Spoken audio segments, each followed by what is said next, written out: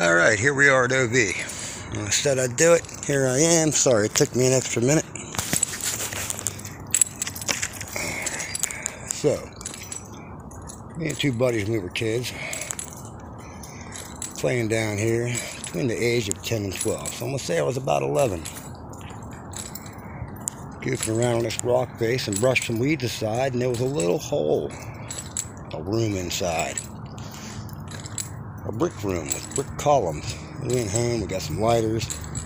That's right, kids in the 80s had lighters. We also went to the store to get our parents cigarettes. You could ride in the back of a pickup truck. Yeah, it's a whole different world. So anyways, I don't get splattered. That's what kids did when I was little. They went outside and play and stuff like that. So we uh, put some weeds aside and we seen this hole and Stuck our head in, and sure enough, at the brick room. We're going exploring. Go get more lighters. Come back. Uh, got more lighters and came back.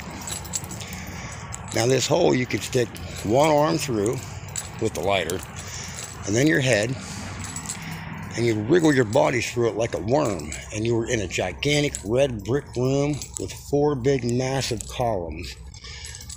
Now, anybody in the city is watching this, you might want to take note. We're right under the old hospital.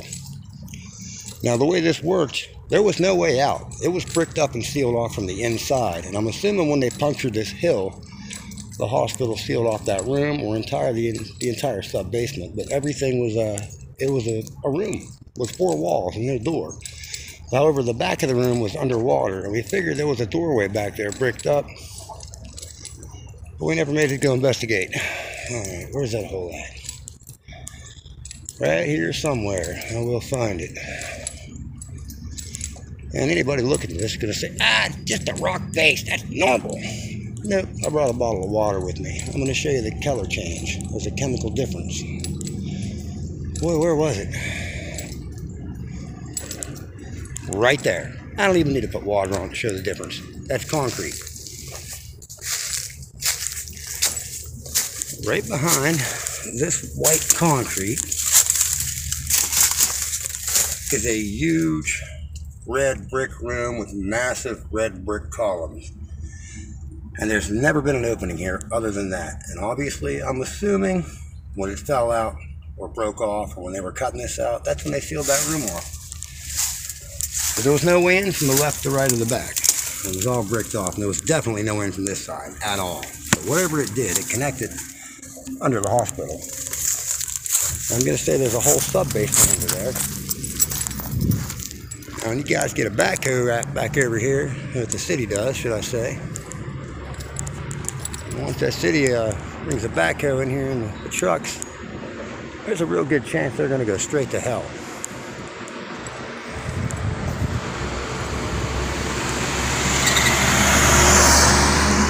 Of it, I don't remember how big the room was. There's enough room there for two basements, but I remember the ceiling being high, but I was a little kid too.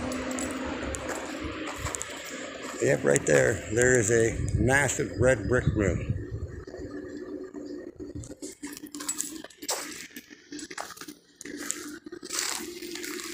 There was never a door or anything on this side. This is all solid bedrock. That was cut into the bedrock from the other side. Now I know there's a mine shaft half mile down there behind the paper company, but I just don't see them. It's a whole different structure. It's different construction. It's block and concrete. Where this was all red block. And if you think red block isn't that old, you know they started making red block right here in Virginia.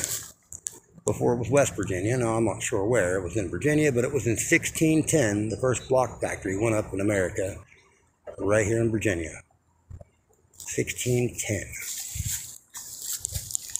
That's it. There's a massive room in there. Massive. Crazy as it sounds. And there's more than just that room because there's no way out from this side. There never was. That's part of that old hospital basement. Guarantee it. It doesn't go anywhere else. Huge brick room. I've been in plenty of mine shafts around here. Like I could take a tour of a, mine shaft that busted open down on the hill on Fulton. You can actually go down it, walk it about a quarter mile into a separate shaft and down to a little room. There's nothing but just coal walls and rock ceiling and chip rock floor. But uh, there you have it. If anybody else remembers this, if you were around, the kid in the 80s, probably, maybe before that. But they bricked it off in the early 80s. Well, not bricked it off, but they uh, they concreted it over. Now, funny story is, we told a couple other kids about it. My buddies ended up moving away. It kind of sucked, but uh, we told a few people about it before I too moved away. And uh, kid had come down here, decided he was going to run away from home and hide in there and have his buddies bring sandwiches from their uh, the school lunch. He was done. And how long it lasted? About 20 minutes. You would slide down a ramp when you were in there, like a ramp, dirt and debris from that hole, belly first, and you could stand up. There was a pretty good ramp there. But right in front of you was uh, water, probably about ankle deep, I guess. We didn't go out into it. We were trying to hold our lighters and uh, look out over it. We never made it back down here to try to chip it away of the wall, see where it went in the back. Probably a good thing to be dead in there somewhere. If somebody remembers that, comment. Were you in there? Do you remember what it looked like? I'd love to see it again. Now, the more I'm looking at it, it looks like there's a gap at the top that might go up over an. And what I need is one of those, uh, I think it's called a snake cam. Fits through a pinhole on a cord, like a long piece of wire with a camera at the end.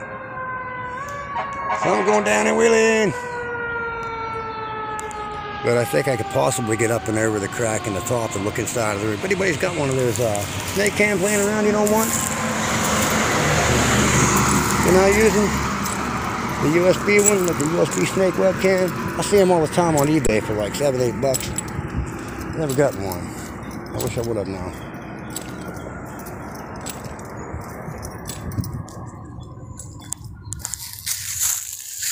And that little box hole there might even go to more rooms in there. It might be a drain, I don't know. But there are definitely rooms under this bedrock. One for sure. And like I said, there's got to be more. It didn't grow there and it didn't come from the outside. I need a snake cam. I see a round hole, I see a square hole, a ledge over there. I'd love to start jamming the camera to so find that room. I haven't seen it in decades. Decades.